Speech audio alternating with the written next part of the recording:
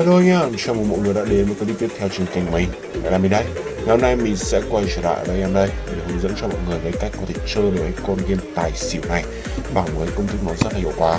Hôm nay mình sẽ hướng dẫn anh em cái công thức bắt cầu bằng cái con single 1 và tổng con single. Đấy, công thức này thì là một công thức chắc là chưa nhiều anh em biết đâu Nên là mình sẽ nói chi tiết về công thức này nhá. Ok? Ờ, Tại vì mấy ngày hôm qua đúng không? Mình đã hướng dẫn anh em một cái công thức nó đơn giản và cơ bản. Là công thức bắt cầu bằng cái cầu đen trắng rồi. À, hay còn gọi là cầu bằng này này. Đây cái giải cầu chạy đi trái qua phải đây là cái cầu đen trắng rồi chưa thì rất là nhiều anh em có bảo là công thức này này ok nó hiệu quả thì hiệu quả nhưng mà anh có thể là hướng dẫn anh em một công thức nó hiệu quả hơn không? Đấy thì mình đã hứa với anh em là nay mình sẽ hướng dẫn anh em một công thức nó hiệu quả hơn đúng không? Đấy thì công thức này nó là một cái công thức nó rất là hiệu quả. Công thức single một và tổng bóng single này này. Nhưng mà hiệu quả về hiệu quả đúng không? Nhưng mà mình vẫn phải nói cái nhược điểm của nó nhá là nó sẽ hơi bị khó đánh hơn cái công thức. Như cái công thức như gọi là cái công thức uh, đánh bằng cầu đen trắng này. Đấy tất nhiên rồi cái gì nó cũng phải có cái giá của nó đúng không? Bây giờ cái công thức này nó hiệu quả hơn. Đấy mà nó lại còn không có nhược điểm thì nó là vô địch cả đúng không? Thì mình sẽ chả bao giờ hướng dẫn cho anh em một công thức bắt cầu bằng cái công thức cầu bằng hay cầu đen trắng cả. Thì nó phải khó bắt hơn hay thế nào đấy mình thấy là nó không phù hợp cho lắm đối với những anh em nào mà còn uh, là mới chấp chững biết chơi tài xỉu chẳng hạn Đấy, thì mình sẽ ít hướng dẫn cho anh em như anh em như thế nhưng mà mình đã hướng dẫn như anh em uh, là uh, cái cầu bắt cầu bằng cầu đen trắng đúng không? nó rất là đơn giản rồi Đấy, thì mình tin là anh em cũng đã làm quen với những con tải những con xỉu này rồi thì mình sẽ hướng dẫn anh em cái công thức sinh một và tổng con single mình tin là kể cả người mới người cũ đều có thể bắt được thôi. Thực ra nhá mình bảo là khó hơn thôi nhưng mà khó một chút thôi anh em ạ. À. anh em nào mà làm quen với tầm khoảng là một hai ngày gì là có thể bắt được rất là dễ thôi ok? Ví dụ mình uh, và và bắt đi bắt kiểu gì đó mình sẽ tính toán nghỉ trước. Tính toán nghỉ dựa trên công thức biến Trái màn hình ví dụ là 11 cộng 3 đi chẵn ra xỉu 8 để một con nghịch. Đấy được chưa? Anh em phải tính là chẵn ra xỉu 8 và chẵn ra tài thì mình sẽ uh, tính ra một công hình môn thuận dựa trên công thức tuyến trắng hình ok?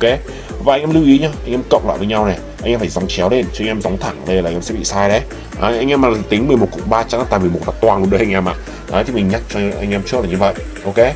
Rồi thì sau khi tính cộng nghịch xong mình sẽ dựa trên những con thuộc nghịch đấy để mình vào và bắt cầu đấy. mình sẽ dựa trên những con tổng nghịch đấy để mình kiếm lãi thôi. Nó rất là đơn giản thôi anh em nhưng mà nói thì đơn giản như vậy vào thực hành mới biết được. Ok nhá. Rồi mình sẽ bắt đầu tới con số 12 này đi. 12 đầu tiên này này. Ờ, tác công thức bên trái này đi cho đỡ bị vướng mắt nhá. Ờ, bắt đầu từ con số 12 này. 12 cộng 5 chắc ra tạo à, sorry lẻ là 12 một nghề 12 cộng 2 chắc là 12 một thuận 12 cộng 5 mà à, sorry lại nhầm 12 cộng 6 chẵn ra tạo 11 một thuận. Ok rồi 11 cộng 3 chẵn xỉu 8 một nghịch 8 cộng 3 lẻ xỉu 5 một thuận nặng hai lẻ tại 14 một nghịch. À, cầu này à? Ngon luôn đấy anh em ạ. Ờ, mình cứ tưởng là nó đang chạy cầu 12 cơ nhưng mà ở chỗ này thì nó kể cả ở trên nó chạy cầu 12 thật nhưng ở chỗ này là nó gãy rồi đúng không? Thì nó hay gãy ra cầu gì nhất? Hay con số 7 này mình sẽ có tỷ lệ cao nhất. Đấy có tỷ lệ ăn cao nhất là một thuận thấy chưa? Con số 7 này thì mình sẽ có tỷ lệ ăn 90% tại vì ở đây nó sẽ là nghịch này xong thuận này nghịch đúng không? Thì cái con số 7 này mình sẽ có tỷ lệ ăn một con thuận nữa tức là nó sẽ ra cùng một bộ đây anh em ạ. 11 6 một con thuận là món tài con này tỷ lệ ăn đâu đấy tầm khoảng 90% đấy nhá. Không một ngặt phàng luôn nửa vốn. Ờ, vốn của mình là 50m mình phang 25m là nửa cái số vốn của mình rồi còn đó. Đấy, có phải là nhỏ đâu đúng không anh em? Rồi hai năm. Sáu mượt. Nó phải mượt anh em ạ được chưa? Mượt chưa? Mình đánh đến mình còn thế nể mình. Chỉ không cần nhiều chỉ cần một tay thôi có thể là vào và chốt lãi xong nghỉ được luôn rồi đúng không đấy. Ờ, nhưng mà em lưu ý nhá lưu ý thế này. Không anh lại bảo là uh, em đánh y anh nhưng say vẫn lỗ các thứ. Tại vì thế này mình hướng dẫn anh em anh em nghe được không? Là 80 với 90 trăm tỷ lệ ăn đúng không? Mình sẽ đánh to ở những con như thế. Nhưng mà con quan trọng là nó không phải là 100 trăm tỷ lệ ăn nhá. Nó cũng chỉ là 80 với 90 trăm tỷ lệ ăn thôi. Bây giờ nếu mà mình đen chẳng hạn thì chết nó vẫn là bình thường. Đấy tại vì 80 90 trăm tỷ lệ ăn thì anh em đánh 10 tay chết một hai tay nó là bình thường rồi đúng không? Đấy lo gì 10 người đánh chả có một hai người chết. Và nhỡ đâu anh em làm một trong một trong ờ, số là một vài người chết đấy. Đấy nên là anh em phải lưu ý đánh ấy, cho nó cẩn thận thôi. Nhất là những anh em nào mà vốn nó nhỏ vốn nó hạn hẹp không có quá là nhiều vốn hậu tất đằng sau thì anh em lưu ý cho mình. Đánh ấy đừng có gọi là bị xa đà vào cái con game này quá một cái gì cả. Thấy chưa?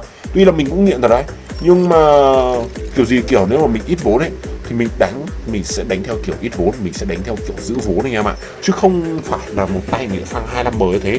Nhưng vốn hậu thuẫn của mình nó dày nên mình có thể là phang một phạt tay 25 m và mình cũng không cần phải suy nghĩ nhiều gì đấy, được chưa? Biết là nó có tỷ lệ ăn là được tại vì là vốn của mình dày mà kể cả tay đấy mình gãy đúng không ok tiếc thì tiếc ở đấy nhưng mà mình sẽ tìm cơ hội ở những con có tỷ lệ ăn cao đằng sau à, như con đằng sau 80 chín phần trăm tỷ lệ ăn đúng không mình sẽ tìm ở ừ, là tìm lại những cơ, cơ hội ở những tay đấy Đấy, chả lẽ lại đen đến nỗi mà liên tục lại chết đúng không? Thì đen quá có thể nhưng mà rất là ít ở nhiều bạn rất là hiếm. Ok rồi, con này là một con nghịch này. Ờ, con số 8 này là một con nghịch. Đấy, thì những con tiếp theo mình cứ bắt theo cùng một một thôi anh em lưu ý nhé cái câu một một là mình sẽ có tỷ lệ ăn cao nhất là cái câu thứ tư một hai ba bốn. Cái con này mình sẽ có tỷ lệ ăn cao nhất là 90 phần trăm được chưa đấy, sau cái con này tỷ lệ ăn 90 phần trăm thì tất cả những con đằng sau đấy tỷ lệ ăn của nó sẽ giảm dần giảm dần. Còn đối với khoảng 55 60 65 phần trăm thôi. Đấy, nên anh em lưu ý đánh ấy, thì ok đánh thoải mái thôi. Nhưng mà không nên đánh nó quá to làm gì nhá.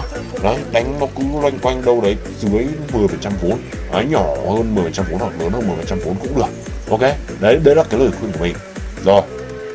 Ngon à? Quá ngon là gì nữa? Đấy, một phát.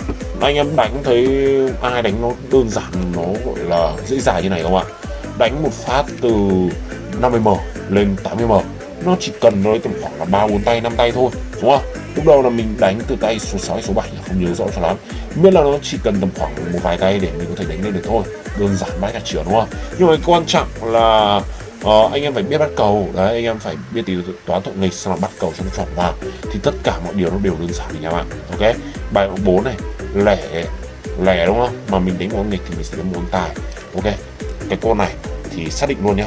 Mình sẽ đánh nhỏ nhỏ thôi chứ mình không đánh to làm gì cả. Tại bây giờ mà mình đánh to nếu mà xuống 80m xem. Nếu mà xuống 80m tức là cái vốn của nó sẽ là lẻ đúng không?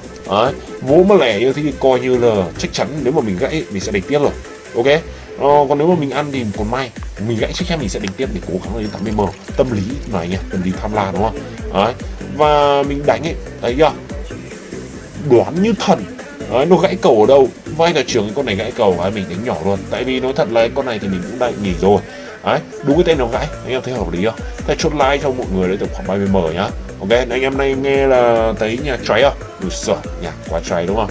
Cháy như thế này vào đánh nó bay luôn đấy anh em ạ đánh có ba bốn năm tay thôi một, một phát từ 50 m đến 80 m quá là ngon. À, nhà cháy đánh công, công thức nó lại còn ngon nữa thì không lãi làm sao cho được đúng không nha ok nhá. Thế này đây thôi anh em nào mà có câu hỏi gì thì comment phía dưới cho biết. Mình sẽ lên video hướng dẫn chi tiết cho anh em nhá. Bye bye gặp lại mọi người ở cái đoạn sau.